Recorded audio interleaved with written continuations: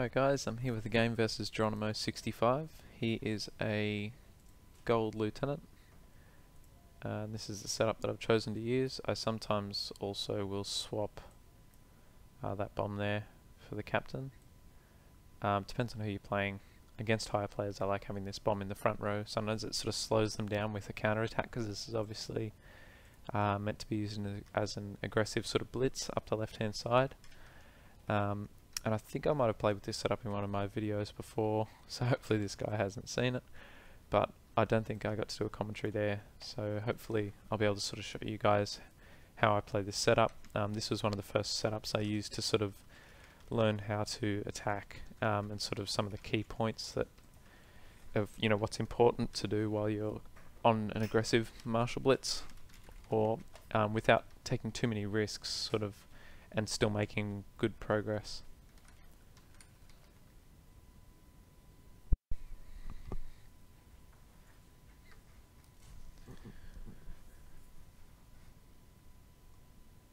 So the goal with this setup basically is to try and make a good attack um, on the left hand side. You want to get your marshal to at least here to be able to sort of dominate this side of the board and then I prefer, some people like to go deeper into the setup um, with their attack but I prefer to try to make my way across um, to the middle with my blitz or whatever you want to call it, attack, um, minimizing the risks along the way as much as possible. And this side of the setup is pretty much designed to just buy you some time. That's why sometimes I have that bomb up here. Um, and obviously the center is also designed to buy you some time.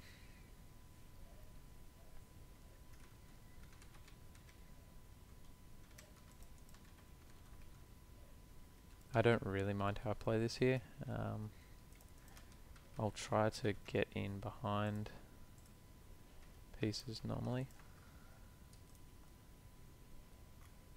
A major. As I said, this is your dominant position right here. That's the that's the area that you want to be. Um, very rare there'll be a spy here behind a sergeant. So now I've cleared that um, from being unsafe. You can now start to work with scouts and we can work our way across the center. So now he's got to take this scout if he wants to stop me from scouting that. It's a miner. So already you've cleared out some good positions here where they could have um, you know high power pieces. That one moved across. So I, I doubt that's the spy. So I will take that risk here. Move my marshal across. That means this piece can't block me anymore. And now I've got control here. I can move my colonel and bring a captain up because I've taken a major so now I'll have a lot of this piece, and that should bring me across to here, hopefully, and should find me a power piece. I'll probably lose that captain on here, but that's alright. Maybe not if I move up. So now I can take that one. Which means this is probably a piece. Or else he's trying to swap out marshals. There's the marshal there. Okay, that's interesting. Means if this is the general here, I can possibly use my general to try to squeeze some pieces out of the center, depending on how hard he sort of lottos over here if he does.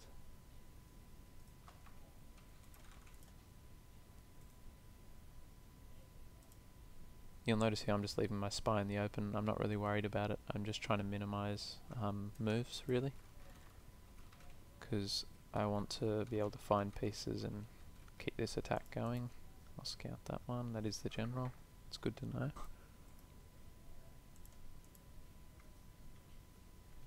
I'll let him hit that.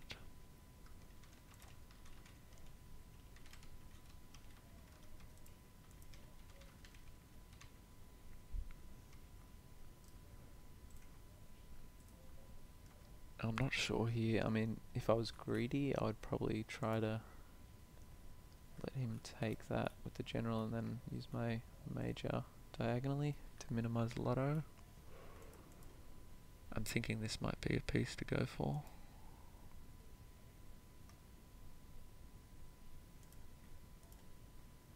I've got the major advantage already. I think I'll just play it safe. There we are. It's probably a colonel coming down to replace.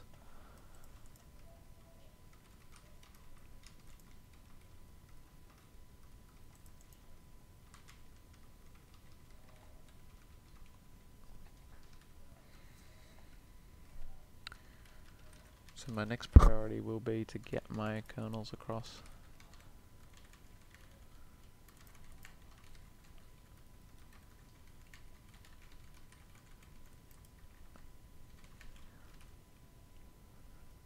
It's okay. I will play for the diagonal spy. Take this miner out. That saves my spy hopefully, just in case I need it later on.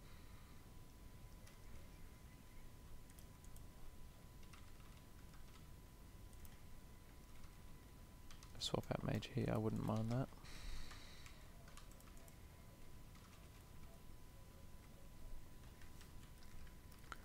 So even on this side, even though I haven't necessarily, like I got a major and a captain out of it, but the main thing really was getting information on all these front row pieces right across the center, and it sort of forced him to have to counterattack with the general. Um, obviously, if you discover a marshal like that, it'll pretty much stop your attack. So I've just got him sort of held there now. And now it's just a matter of really clearing the lanes um, and swapping down to your advantage.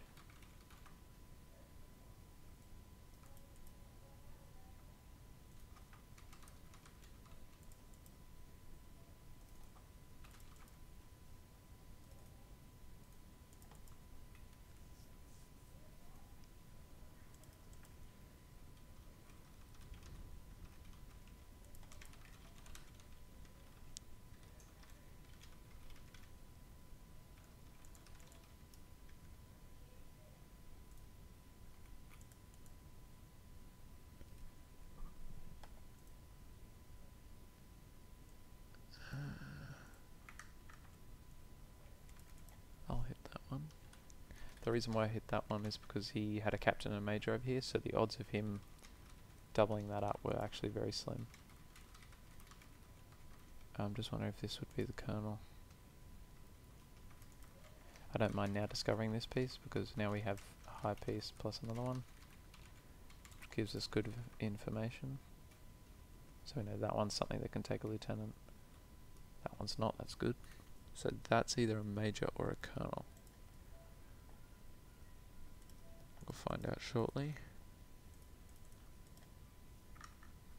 That's the colonel. Okay, that's good. Now we'll just minimize our lotto.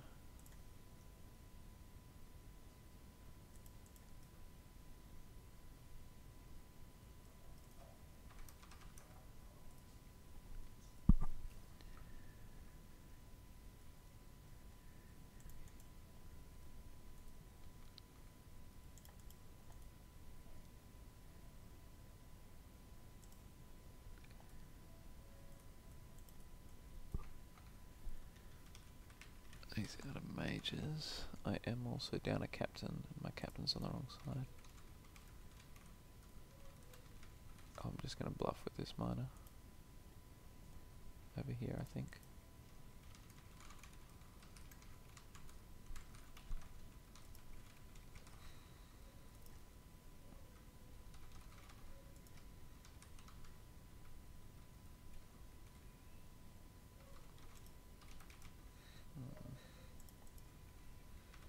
I'll take that.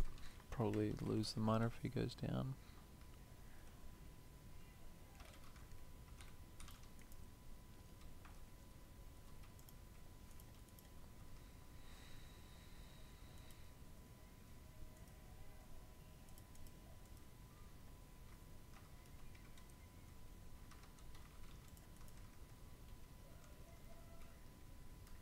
Captain.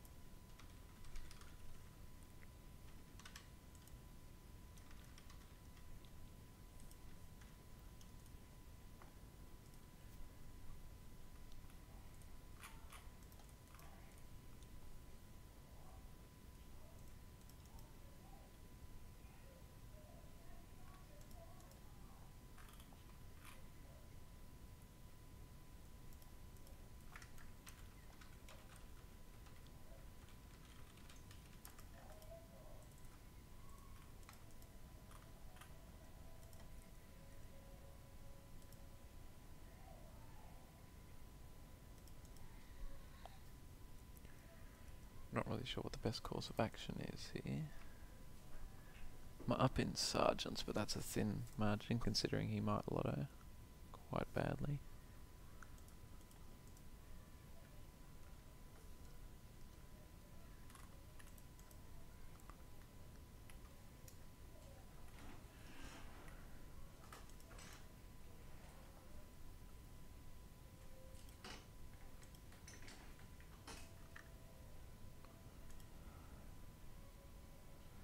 That was a mistake, but that's alright.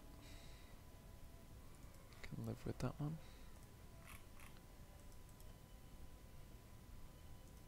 Um,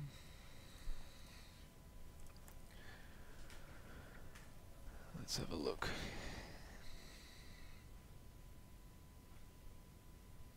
That's probably a good shot at the flag there.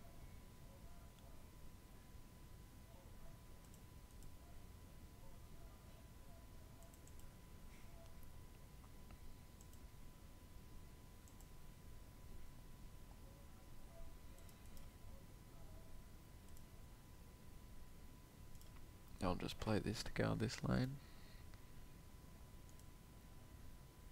I'm just trying to think as well. Colonel came from there, and marshal was from there. That makes this piece unlikely to be a bomb because of two squares rule. He probably wouldn't have that, which makes me think corner flag. And if not corner flag,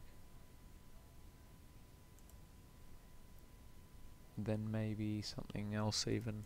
Um, like flag over here and sort of some weird bombs somewhere. I'll run this lieutenant up the centre because then he doesn't know what's captain and whatever. That would be a lieutenant coming across. I don't mind that. Make him play. Lieutenant, uh, miner. So that's alright. That's a win-win for me. Also gives away more of the um, sort of bomb shape, which I'm sort of suspecting now. Corner flag seems more likely. Um, just because this looks like a weird sort of bomb setup, possibly bomb there, maybe bomb there, and then corner flag would seem the more logical option. So I'll pull this miner out.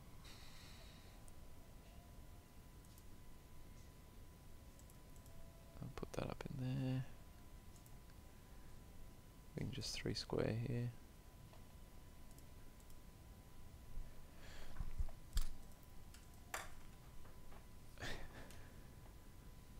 that was quite a big risk considering I still had a captain.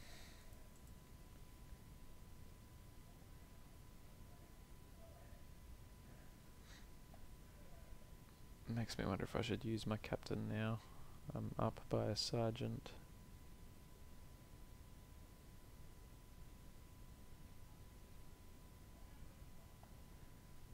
No, I want to wait till he tries to bring a miner down here on this.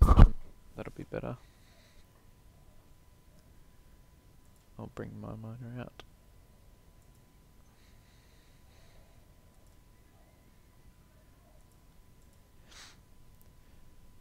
I apologise if my voice is a little bit monotone. I tend to speak a bit uh, monotone and boring while I'm concentrating, but also had a long day, which doesn't help.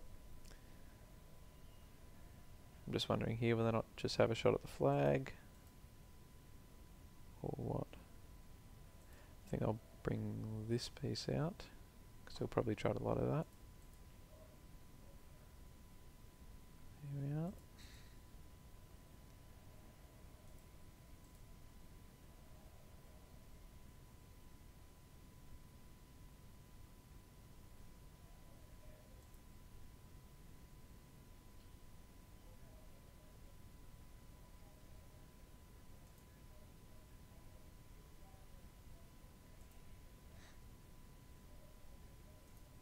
Okay, well that's his captain trapped.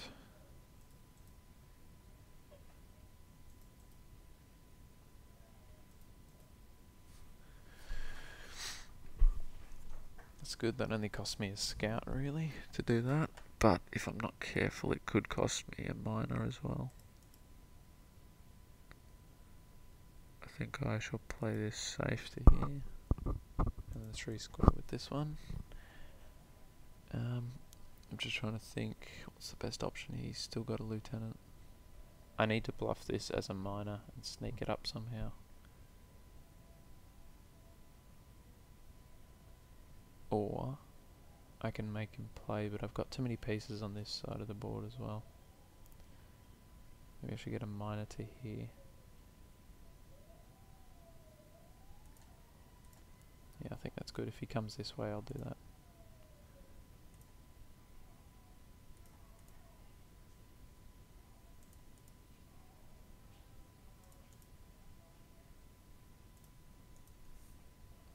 So now we've got our miner back up.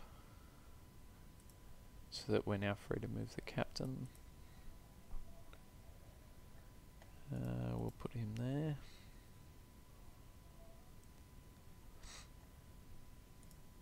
Then we'll create some space here around the major, ready for it to move into action if need be. We can't let him three squares here, otherwise the lieutenant will be endangered from a threat, repeated threat up to here. And we are pretty much ready to go now. We're set up. I think a shot at the flag might be bad. He's only got two pieces that'll take this miner up in that base.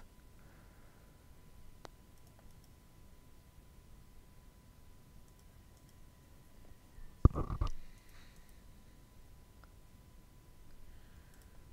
just put this across into the centre and then we shall bring our captain into play.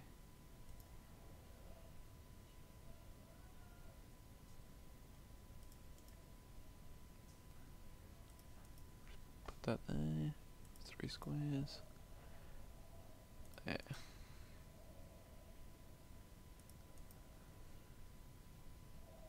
And this captain is safely run up the centre. Avoid that one. And we can three square with the captain then up here.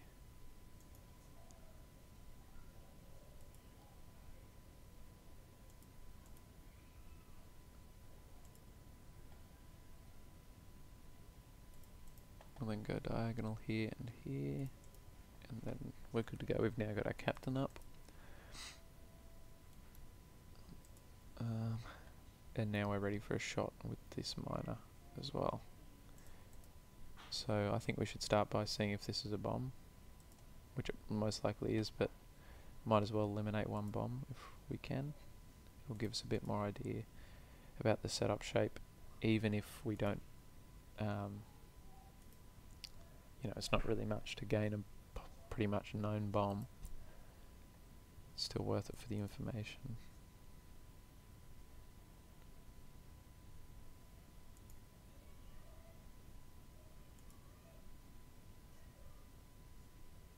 Yep.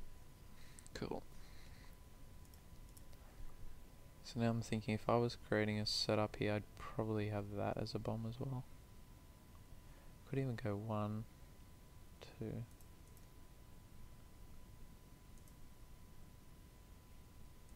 This might force something to happen. Scout, that's alright.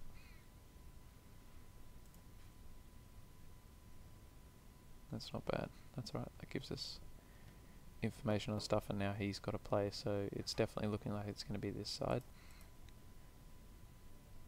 The good news is I am ready to go with the rest of my setup. So I can put this lieutenant here.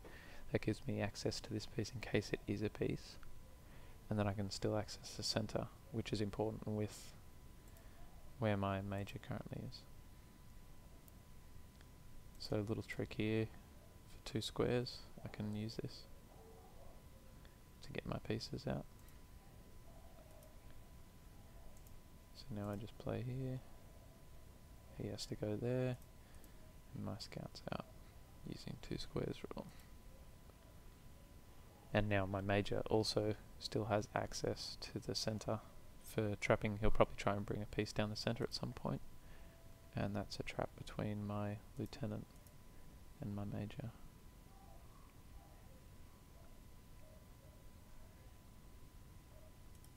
I'll just move one there, just in case.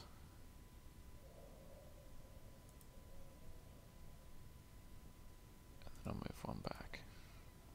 Just keep this blocked off. The fact he didn't move means there's probably could actually be a bomb there. Now we move here. And then over to here.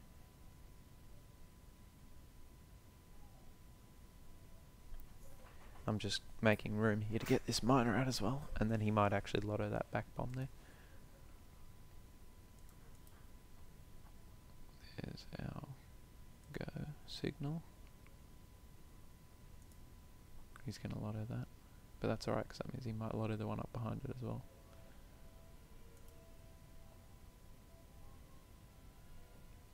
Yep, that worked out well. And I get a miner. So now it's just a matter of this. So yeah, that wasn't a bomb as I thought. That's going to be corner flag or else a big row of pieces.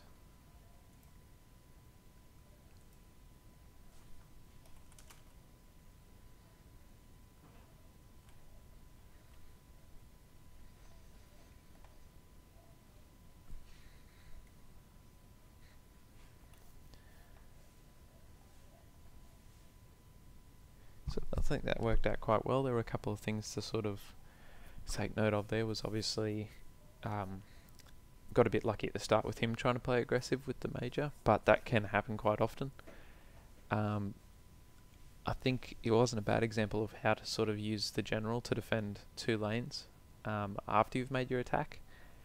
Um, most of the time, if their marshal's there as it was, their general will actually be in the center, but that's alright. I think if you try to focus something like this, or a marshal blitz, which is normally done up one of the wings, and you have that goal to get to this square, that sort of that uh, dominant square, to uh, you know trap them from moving out too much, then you can, like I said, start working across towards the center, and that along the way will either discover pieces that you could possibly trap, or pieces that are you know they're high valuable pieces, um, and you can sort of use your colonel and captain to take out, you know, a lieutenant. And then if you take the a lieutenant somewhere up there, you know, they have to take it with something like a major, and that puts that piece at, at risk.